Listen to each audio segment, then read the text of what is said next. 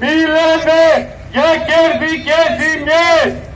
Εμείς μιλάμε για ανθρωπίνες ζωές. Αυτοί μιλάμε για κέρδη και ζημιές. Ναι, είναι οι ταχαδημοκράτες. Η πολιτική τους σκοτώνει τους εργατές.